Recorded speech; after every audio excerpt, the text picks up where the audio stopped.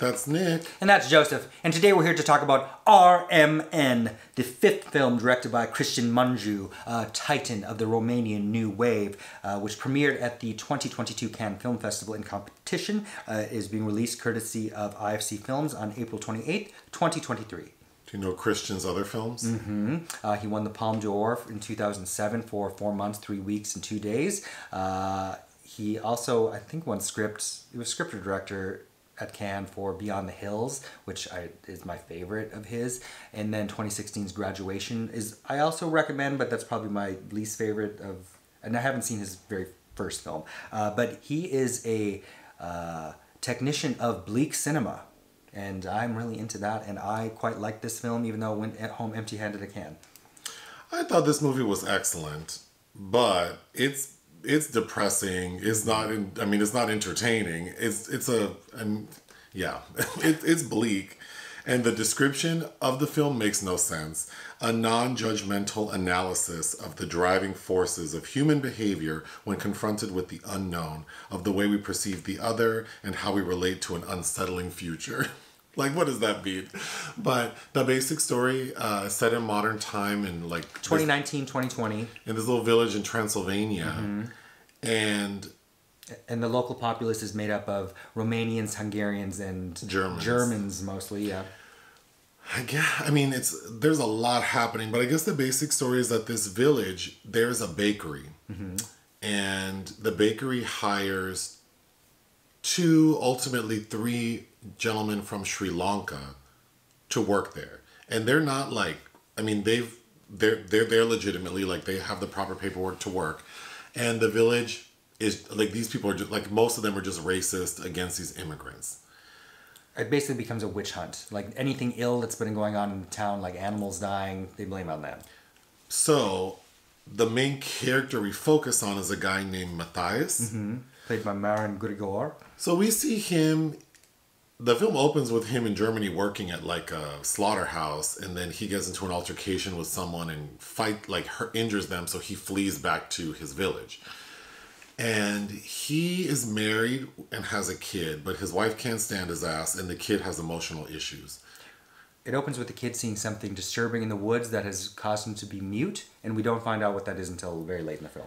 And then Matthias is having an affair with the woman who runs the bakery. Csilla, played by Judith State. But everything culminates with a pretty amazing scene where like the community gets together in like a town hall to discuss i mean discuss is not the best word just scream at each other mm-hmm. about the um, two foreign gentlemen three who are working at the bakery and they think that they can just vote to like remove these people and then there's a I mean, there's a hate crime that's committed where like some guys wearing like Klan masks show up and throw like a Molotov cocktail in the housing of these three gentlemen. And then it ends with it's very random. I mean, it doesn't really re- resolve anything. The woman running the bakery says that she's going to, like, she got a job in Germany, so she's leaving. Mm-hmm. And she takes the Sri Lankan men, like, to safety. And they, their last night in town is in this prison. They're yeah, like for safety, and then they're going to be transferred to a different town. And then Matthias goes to see her, and at first we think he's going to harm her because mm-hmm. he has a gun, and she seems alarmed and she starts crying and walks outside, and she lives. The entire village is like in the woods, so she's out in the woods and she thinks Matthias is going to shoot her, and I and I did too. And then all of a sudden we see there's a huge bear behind her, so he goes to shoot the bear and chases the bear, and then all of a sudden we see like four huge bears. Like at the end of Harry and the Hendersons. It was pretty creepy, and then he turns around, and then the film ends. Um, so it's it's it's very random, but I think the themes it evokes like it's it, it's very uh, provocative. I think it's provocative, it, like almost like the bears of these predators that are because the film after that kid runs away with, with whatever Rudi, we don't know what he sees. That we get the shot of all these sheep and I think that's metaphor a metaphor for these these people are all ignorant sheep, and nature is coming to kind of ravage them almost. Yeah, there's a lot of symbolism. Overall, I was super frustrated watching it. Not, I mean, technically, I think the film is excellent, but it, just like these characters and how they're behaving, they're so ignorant and. But so the little kid Rudi, Matthias' son, who went mute because he saw something in the woods, we find out that he says he saw a man hanging from a tree. which is ends up being a premonition. Because we find out so Matthias, his dad, Papa Otto, I think they're mm-hmm. calling him, he ends up committing suicide by hanging himself from a tree, which I thought was funny. That so little Rudi, who looks like maybe he's eight, he walks to school every day, walking through these woods, and then we find out that that it's known there are bears in the woods. Like, why are you letting this little boy walk through this these woods with these bears in it? There are bears, and they all they are also cautious about, um, as, as in the terminology of this film, the gypsies that they run out of town returning. But I think it's just the irony of these people being so hateful towards others when it's like you're all in the same boat. Like you're all sort of like in a spot that you weren't originally supposed to be in as you think. And then the real gag is the reason these three men from Sri Lanka needed to be hired is because no one in the village either wants to work for those wages or the villagers all leave to go to other countries to work. Or the ones that are in the village and not working get more, They collect like public assistance. including such as Matthias, because uh, Csilla says you should get a job at the bakery. He's like, I'd rather do just what collect I'm. my yeah collect my But he's what's so frustrating is because he's this kind of this apathetic, you know, one of the the centers of the story, and he the the reason he gets in fisticuffs at the factory in Germany is because that man disparagingly refers to him as a gypsy. Right, Because so he- he's this person in between. Sorry, that is. Uh, because one of his parents was uh, German, I guess. So people kind of treat him a certain way too. right but it's the, like the irony and the hypocrisy of it all is what makes it so frustrating like you've been treated poorly and then you get back home and then you treat others and the, and then not being self-aware like matthias is not a hardworking good person because him having this extramarital affair and not treating his wife correct you know like He's kind of abusive to her. And then the opening of the film, well, not the opening, but early on in the film, we see that after Matthias bumps into the lady, what's her name, who runs the bakery?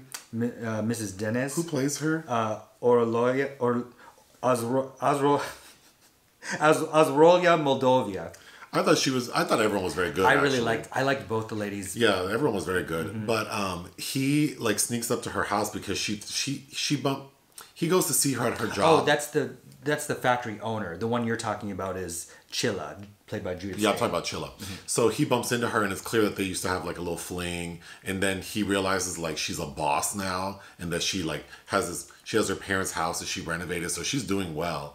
And then the next scene is him like creeping around her house like a peeping tom, He's masturbating. masturbating while she's playing the cello. I think. She drinks a lot of wine and plays the cello at night. hmm But I thought those scenes were really interesting. Mm-hmm. But um, yeah. Continue. I, Uh, I lost my train of thought. Maria Dragus, who is in graduation, has a very small part in that. And there's also a man uh, work, who works for a French NGO that is uh, there to survey the bear population, which I. Which has relevance Mm-hmm. because during the town hall meeting, they're like, oh, so we're paying some foreigner to come count our bears, even though like the bears are what ki- or what are killing our livestock, Mm-hmm. and it's like just any reason to be mad about anything. Mm-hmm. So yeah, And then there, that the, the bet that scene, which is in one single shot, which I forget how long it is, but it is fantastic. it's like 15 minutes, Oh, 15, 20 minutes. it's- It's very well done. It's so good, but the the townsfolk are basically saying it's a, a matter of hygiene, be, and even the town doctor. the town doctor is saying some dumb shit like how people. I mean, they're they they have different kind of health. Um, like immunity and, Yeah. and different virology Yeah. and so it's a matter of hygiene so it's like oh my god and of course, this is pre-pandemic, but it's just like, oh, these these stupid dumb dums. But but, film- but when the factory owner says like, well, what if we make them wear gloves? And it's just like no matter what you come up with, they're like, someone finally says, "Don't you hear us? We just don't want them here." right but then it's like you also all leave to go other to other countries to work but then they say well we're not savages and it's like And half of them aren't from this town anyway. but, but then then it's just so like the only decent people in the film are the bakery owner and manager and the three sri lankan gentlemen like And I did really like those scenes because uh, Csilla becomes kind of close with them. She goes to have dinner with them. It's a very nice, kind. that was an upsetting scene because they have dinner like because it's around Christmas time and they're Mm-hmm. having a lovely time and it, and it really felt genuine. Like she felt like you know she wanted to get the she was appreciative of these men. Mm-hmm. And then while they're enjoying their dinner, that's when the Molotov cocktail. I think it's a brick on fire or a it's brick, something, something. like that. But I think the film, so the film, it felt a little tedious in the beginning because it's like, what is this about? But I, it's, it's all very well done. But the tides turn when there's like a party and Matthias is there with his three raggedy ass friends Mm-hmm. and they start saying really racist stuff.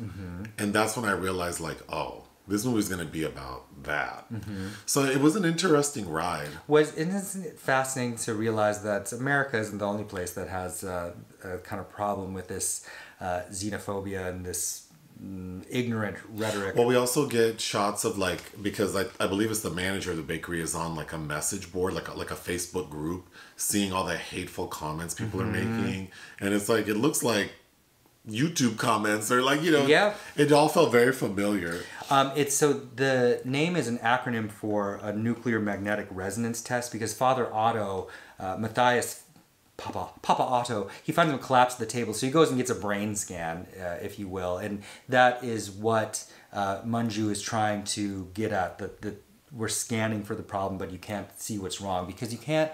There's no test to uh, examine the depths of despair and ignorance that's uh, happening in any given community. Yeah. Well, what- uh, what would you give? Well, how did you feel about how it looked? Oh, I loved how it looked. Yeah. Shot by Tudor Vladimir Panduru, who uh, previously shot, shot Graduation um, for Mungiu and also Malmkrog uh, for Cristi Puiu, another very notable new uh, Romanian new wave director who I also highly recommend if you haven't seen any Cristi Puiu films, especially Aurora. Um, and also another recent film I quite liked. I think it's a French Romanian co production called Metronome. Uh, yes, loved how it looked. Um, and with all of his films, it takes a while to Mungiu to get into them. Uh, you know, four months, three weeks, and two days is a very bleak uh, abortion drama.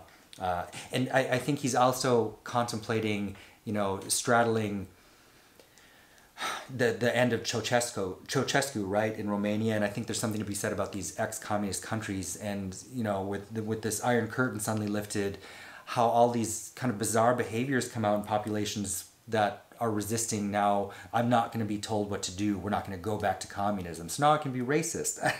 like I, I think there's a there's a lot of uh, commentary going on there. But uh, oh, and Beyond the Hills is just to me that's a five star film but uh, that is about these two lesbians and one of them has become a nun and the other one tries to kind of rescue the other one from the convent they're difficult to watch uh, for sure and this one is too What would you give this movie? uh, four and a half it was my favorite film out of Cannes this year uh, it took forever to come out I, I know it's a hard sell it's a hard watch but i loved it I would give it four out of five. Anything else? no Hit the thanks button. Listen to our podcast. Bye.